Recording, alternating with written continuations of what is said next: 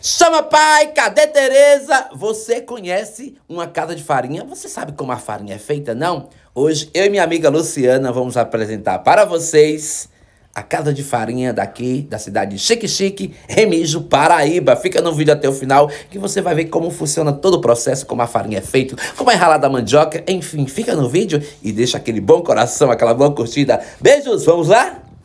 Bom dia, gente. É, hoje eu vim aqui visitar aqui a casa de farinha no Chique Chique, né? Sei que muitos não sabem nem aqui em Remis que existe essa casa de farinha. Tô aqui com as meninas que desde ontem estão pegadas aqui, raspando aqui, né? A, a mandioca. Mas vamos aí explicar, passar para o seu Ismael para ele dizer como é que funciona, né?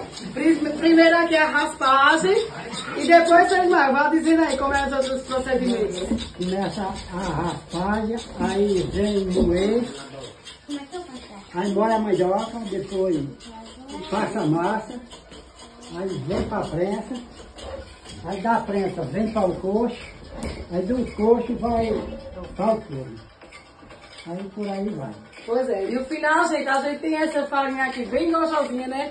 Eu acho que muitos nem acreditavam que existia a farinha brejeira. Mas venham vocês também conhecer, né, que a gente tem que dar valor à nossa cultura e à nossa região.